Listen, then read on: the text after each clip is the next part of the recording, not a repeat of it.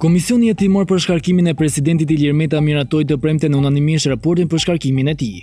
Kryetari i komisionit u shpreh se presidenti përmes deklaratave gjuhën e përdorur dhe paditë penale për vjedhjen e votimeve ka shkelur detyrimin kushtetues për paanshmëri politike. Komisioni ka gjetur se Meta gjatë fushatës zgjedhore ka goditur një forcë politike në krahasim me një tjetër. Komiteti administroi të gjithë deklaratat dhe daljet publike të Metës si dhe raportet e ekspertëve ligjorë.